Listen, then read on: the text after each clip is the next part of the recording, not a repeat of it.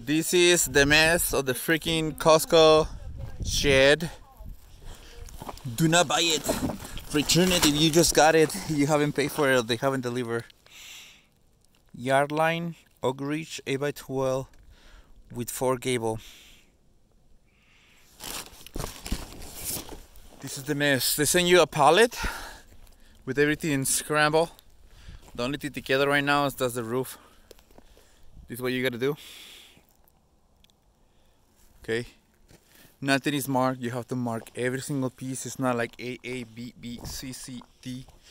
You'll be better going to the easy shed. But look at this. Nothing. Just a chunk of lumber. Uh, it didn't come with instructions. And they want you to join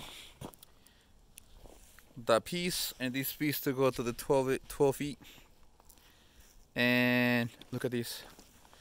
I have to mark every single freaking piece. I didn't purchase this. Oh I never will. This I'm just doing it for somebody else.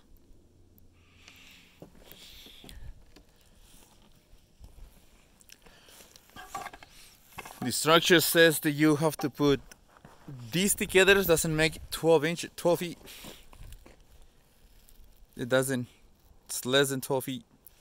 You need a top and a bottom 8 footer that they didn't came with. Anyways bad design.